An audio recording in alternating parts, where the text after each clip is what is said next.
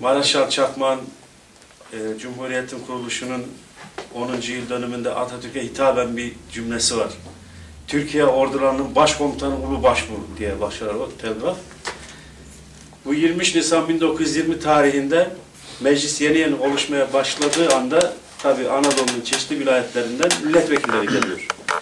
Milletvekilleri An- Ankara'ya geldiği zaman şimdiki gibi zannetmişler ki makam arabası, ya- yatacak yer, otel, konaklama, Yiyecek, içecek. yiyecek, içecek hepsi Maaş bu. diye kafalarında öyle hayal etmişler. Ankara'ya gelince böyle bir durumla karşılaşmıyorlar. Yani ne otel var, ne konaklama, para yok, pul yok, bir şey yok. Bir kısmı terk etmiş, bir bırakmış milletvekili. Gidiyor artık yani. Bir kısmı da gitmek üzere. Bu tabi başkumandana ulaşıyor bu iş. Hemen geliyor mecliste kürsüye geliyor. Diyor ki zannederim diyor bizim diyor parasızlığımızdan ve yoksulluğumuzdan bahane ederek diyor arkadaşlarımızın bir kısmı vilayetlere dönmeye karar vermişler diyor. Gidebilirler diyor. Hatta onlara katılanlar da olabilir. Hatta tamamınız gidebilirsiniz diyor. O zaman diyor asker Mustafa Kemal ne yapar diyor? Mavzerini göğsüne takar. Gider diyor Elma Dağı'nın tepesine çıkar. Düşmanla çarpışır. Tek kurşun kalıncaya kadar mücadele ederim. Düşmanın kurşunuyla yaralanırım. Göğsümdeki bayrağı kendi kanımla orada şehit olur kalırım deyince tüm milletvekilleri ağlıyorlar ve gitmiyorlar. Ee, savaşta askerin biri yaralanmış ama şuurunu kaybetmiş, kendinden geçmiş. Bunu anlatmıştım. İki asker de sedyeye koymuş, sıhhiye çadırına götürüyorlar. Yolda yorulmuşlar. Bir söğüdün gölgesine bırak koyup sigara içiyorlar. Ve dertleniyorlar. Her şey bitti. Vatanda bitti, devlette bitti, dinde bitti, millette bitti diye.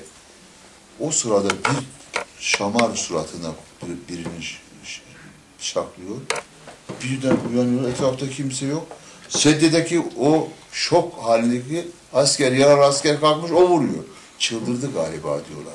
Ya biz seni sıhhiye merkezine götürüyoruz. Bize niye vuruyorsun? E ne biçim konuşuyorsunuz, duydum diyor. Her şey bitti diyorsunuz. Sen varsın, sen varsın, yarım da olsa ben varım. Demek ki bitmemiş diyor.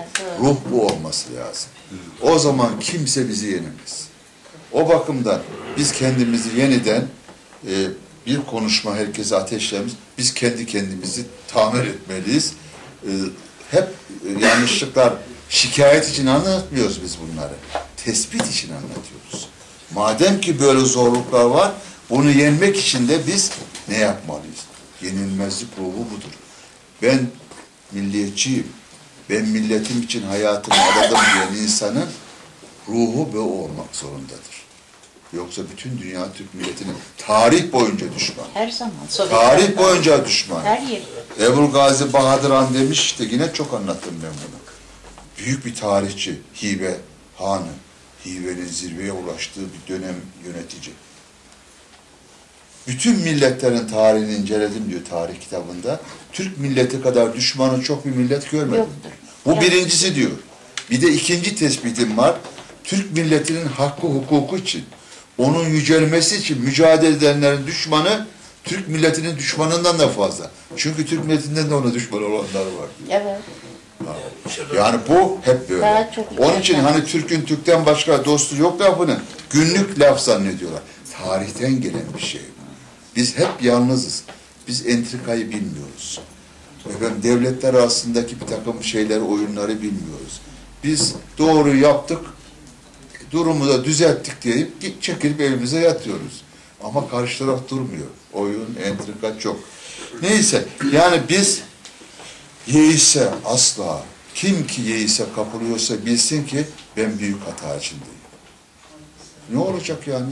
Bir kişi kalırsa bir kişi kalır. Üç işte. olmayalım, 111 olalım. Allah Allah. Yani birin yanına bir korsak iki olur. Ayrı ayrı durmak da çok kötü.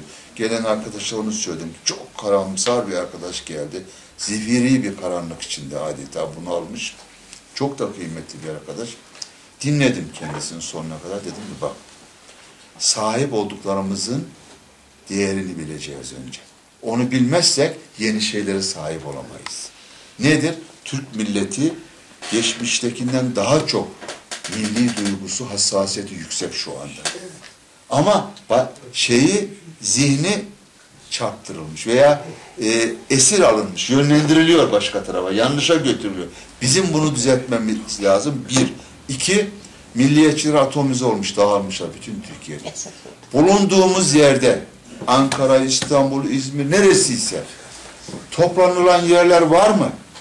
Bir, iki, üç, hangisini kendimize yakın veya uygun buluyorsak vakit geçirmeden gidip ona ilave olmalıyız.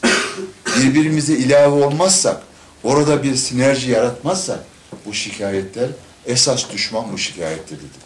Bak sen bu kadar tecrübenin adamısın. Bu duruma niye düştün kardeşim dedi. Biraz silkindi, düzeldi gitti. Yani birin yanına biri korsak iki olur. Bunu unutmayalım. Neresi bize uygunsa illa buraya gelecek diye bir şey yok.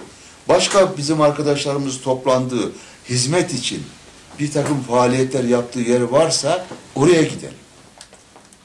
İkisine gidebiliyorsa ikisine gidelim. Çak, millet bizimle, tarih bizimle, hukuk bizimle, kültür bizimle, hak hukuk bizimle. Ama bir çarpıklık var. Bunu elbette yenecek. Yenecek bu millet. Sadece bize. Bütün bu millet yenecek. Bunu da vakti saati var. Biz hiçbir zaman. Allah ne diyor? Sen üzerime düşeni yap, ben sana yardım ederim. Biz üzerimize düşeni yapmadan yardım bekliyoruz. Birisi Cuma şeyi atmış bana. Dualar şudur, şöyle olsun, milletimiz için böyle olsun falan. Hepsi güzel. Ben de cevaben dedim ki, e, çok güzel. Yalnız üzerimize düştükten düşenleri yaptıktan sonra bu dualar edelim dedim ona. Ona da ihtiyaç hissettim. Evet, yapacağız. Geçmişte nasıl bu sıkıntıları geçti, bunu da geçeceğiz.